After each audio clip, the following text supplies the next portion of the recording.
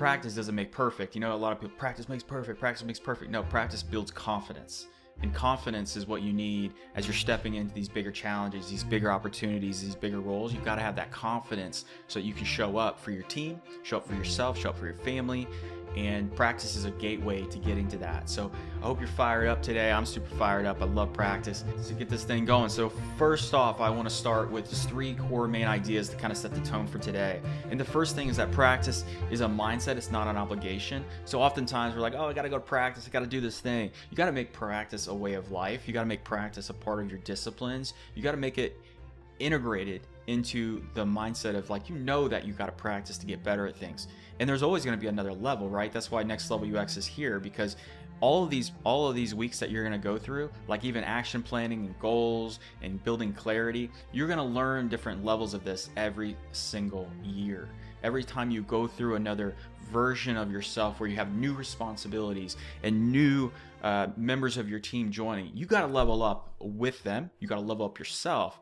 So thinking about okay well what am i going to do this day this week this month to be able to practice these these new things that I'm going to be learning. You know, we got we got this whole new tech industry is is just so many things happening with the AI industry, with also the adaptation of like a lot of people are losing their roles. So thinking about like, well, how do you create an environment where you're still growing and still elevating yourself even in the most difficult times even in those times of stress even in those times of like you know it's stormy and when it's stormy that doesn't mean we stop these things. So I want to encourage you to think about practice being a part of your discipline, part of your practice. Practice, practice, practice. All right, let's go. All right, the next thing is thinking about leadership. And I put this in here because it takes a lot of self leadership to be showing up and being vulnerable and being honest about the things you do need to practice in. And even though you know something, doesn't mean you can't still practice those things. Like for example, and I, I still like to go back to my baseball days because I built so many positive routines, rituals, and habits from playing baseball. And it was, I think it was because we did things over and over and over and over. You know, from our practice schedule, what we did, you know, for the three hours that we had practice, it was documented. It was detailed. We knew what we were doing. We knew we were showing up. And when we were hitting the balls off the tee, like we would hit hundreds of balls off the tee. And even though we knew how to hit the ball off the tee, we were working on our muscle memory. We were working on our performance. We were working on getting it right, getting it right, getting it right. And the same thing can happen with the things that you do on a regular basis your morning routines, your evening routines, the ways that you interact with your family, the ways that you show up for your team, the way that you communicate your learnings, the way that you communicate the things that you're trying to build. All of those things are going to be recurring events. So we have recurring events. It takes not only uh, you know your your your manager is trying to see what's going on, but you have to take the leadership, your self leadership, and know that it isn't just for your managers it's for yourself. Like your holistic your holistic self is things that you need to continue uh, practicing like their whole self. So keep that in mind. The third one is that i want you to consider with practice is this developing a love for the rituals and rhythms that serve you and you know i talk about the growth loop and i'll talk about that today a little bit more but it's also like your rhythm sheet is also really important. So the things that you have to do every single day, every single week, every single month that are non negotiable things, but things that help you become a better you.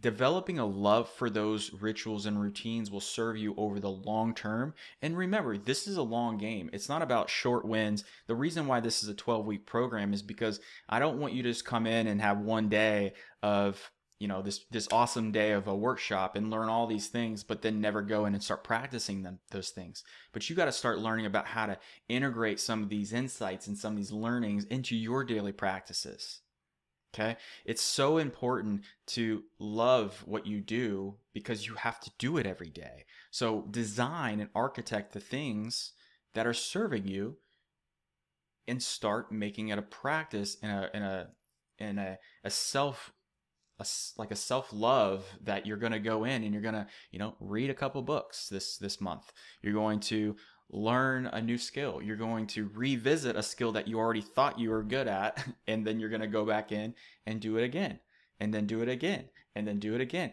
You have to fit, find that love of learning again and that love of learning that you know that you're going to be growing and developing day over day week over week and year over year. So um, let's just let's really take a second and look at these things and be like well how am i doing in each of these categories because these are the core these are the core things that i want you to keep coming back to. And we could we could talk about practice all daggone day but these are the core things that i want you to start thinking about integrating exploring and finding that purpose and intention to bring some of these things to life.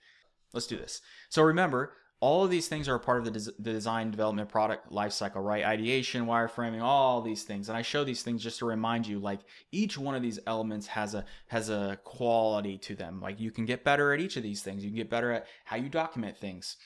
How would you do that? Well making sure that you know the type of team that you have right now and what type of things do they look for? What type of things do they struggle with? What type of things could you could you present to them in a, in a way where it makes them feel a little bit more confident about what they're receiving, right? We're constantly playing pitch and catch with our teammates, our cross functional partners, our designers, our product managers, our engineers, our marketing teams, our business stakeholders, our research teams, our data science, right? We have a holistic ecosystem of people that we work with. So just just that one little thing of documentation. What can you do to prepare them for what they're going to receive?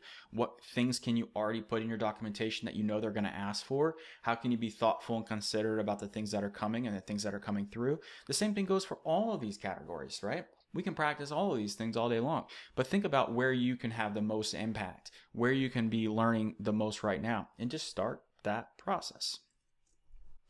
The other things with the the process that we go through, right? I showed this last week when we're thinking about action planning because we have to plan each of these elements, but it's not just about planning these things. There's ways to get better at these things and there's practice that we can actually take to get better at these things, right? From the way we prepare something, getting better at that, the way that we understand and collect information and make sure that our stakeholders, make sure that our business stakeholders, make sure that the people that we're working with and you know across disciplines know that it's time to collect information. It's time to pull in what we need to learn about this project that we're moving forward. And then when it's time for us to focus and we know exactly what we're doing, we're exactly we're pointed in the right direction. Now, we can think about how do we kick off a project? How do we kick it off in a way that is going to set everyone up for success that's participating in this in this venture? You know, who are the people that are going to do the work? And who are the people that are going to give feedback on the work? Who are the people that are going to help you advance the projects?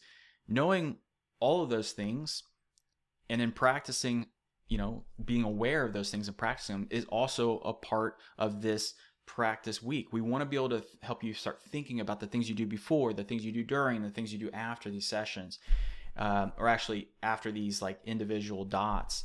Uh, so i know that again some of these things are a part like i mean they can feel pre- pretty overwhelming if you've like oh i haven't gone through these processes that much. I haven't been with a team that has the maturity to know how to do these things. That's okay. But i just want you to be aware of these things so you can start looking at these things in in your team and your discipline. That way when you start stepping into either a leadership role or you start stepping into you know that next version of yourself you can actually perform a little bit better and and be prepared for some of these things uh, there's just so many different there's so many different ways to get better at you know how you uh, test and validate your experiences how you improve it how you get feedback. Um, so i just want you to to take and take some stock into this and think about like well where do i need to get a little bit better at? And that's another good way of asking for help asking for some support asking questions having a curious mindset with your team learning what the current process is and kind of analyzing it seeing what you could do better, and then making suggestions on how to improve it once you have an opinion. Uh, this is this is all super important stuff. Right. We also talked about that with this other aspect of getting started, doing discovery, ideation, validation, all these steps as well. Like, what are your, what, how's your team currently flowing through this? And I often think like a lot of times, and this has even happened in our teams, uh, where there's current processes in place, but the current processes in place are not meant to like be like they're not meant to be perfect. If they're trying to be perfect, then it's it's it's essentially putting so much pressure on a team to have to be so perfect in a in a process that doesn't give room for like tweaking and adjusting and really helping the team learn the entire route. I'm a huge believer in letting the team kind of evolve together, but still setting standards and still setting performance standards for what needs to happen, but letting the team grow together, letting the team voice themselves. This is why retros retrospectives are so important after sprints because you're able to have the team develop some intellectual like collaborative sharing of information so that they can have stock and they can have accountability in the things that they're doing so that they can get better week over week over week over week. So all of these things, we know that they can get better, but I don't like putting like you have to do it this certain way, you have to do it this this certain pathway because I think that reduces the amount of learning that can happen for individuals to help them level up to their next their next uh, position or their next kind of breakthrough. And I think that's how people learn faster too but you got to be there to coach them. You got to be able to there support them. You got to be able to be there to at least help them be aware of the things that are happening so that they can improve them.